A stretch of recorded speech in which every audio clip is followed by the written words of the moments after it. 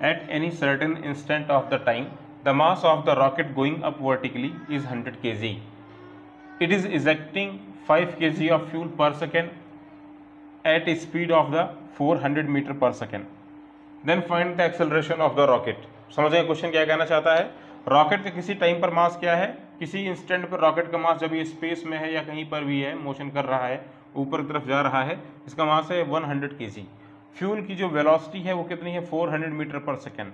और किस रेट से फ्यूल बाहर की तरफ़ आ रहा है? तो 5 के पर सेकेंड। फाइंड करना है रॉकेट का एक्सेलरेशन। देखो ध्यान से, रॉकेट पर मोशन के दौरान, अगर समझें तो दो फ़र्क, दो तरह के फोर्स लग रहे होंगे। एक तो अब थ्रस्ट लग रहा होगा फ्यूल का, दूसरा इसका वेट काम कर रहा होगा। दोनों का जो डिफरेंस होगा, वही हमको देगा क्या? Accelerating force.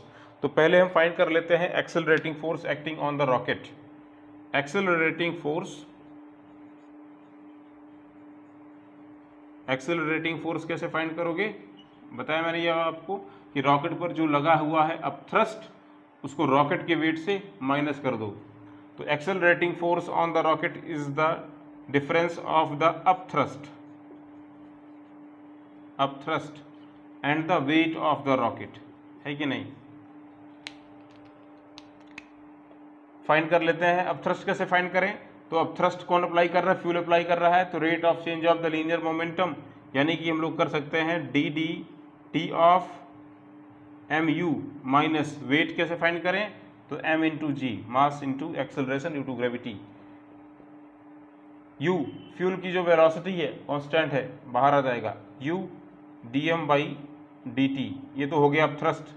माइनस एम जी कर दीजिए, आपको मिल जाएगा नेट फोर्स अब सारे डाटा को रखिए।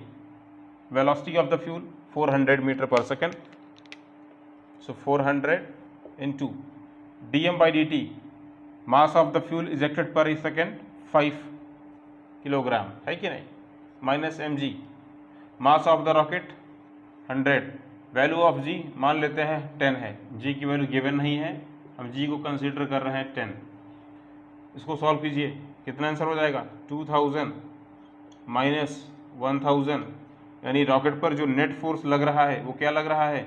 वो लग रहा है वन थाउज़ेंड न्यूटन का। This is the net force acting on the rocket net force मतलब up thrust minus weight now acceleration find कर सकते हैं आप। तो acceleration acceleration of the rocket A equals net unbalanced force upon mass of the rocket unbalanced force कितना मिला आपको? 1000 Newton. मास क्या है? 100 डिवाइड कर दो, आंसर क्या हो जाएगा? 10 मीटर पर सेकेंड स्क्वायर। यानी रॉकेट की जो वेलोसिटी होगी, वो वर्टिकल डायरेक्शन में 10 10 मीटर पर सेकेंड स्क्वायर के रेट से लगातार बढ़ती चली जाएगी। 10 मीटर पर सेकेंड के कांस्टेंट रेट से लगातार बढ़ती चली जाएगी। यही है रॉकेट का एक्सेलरेशन। Thank you.